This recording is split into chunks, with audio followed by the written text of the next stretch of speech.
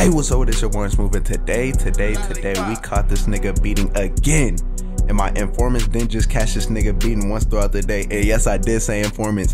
These niggas caught these niggas caught that nigga beating twice, my nigga. How you get how you get caught beating twice at school? This shit is crazy, bro. And also, we caught this nigga Oh, walking to the to the restroom during fourth period. I, I shouldn't even have to explain what happened down in the restroom, but this nigga is weird, bro. And yes, this is the same niggas whose glasses don't even connect to his ears.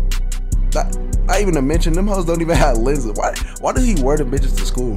But uh, look at the sightings of this nigga while he's beating in class, bro. This shit is terrible.